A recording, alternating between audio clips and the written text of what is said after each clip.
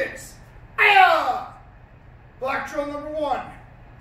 High, high, push, push, hammer, hammer, low, low, serve, focus.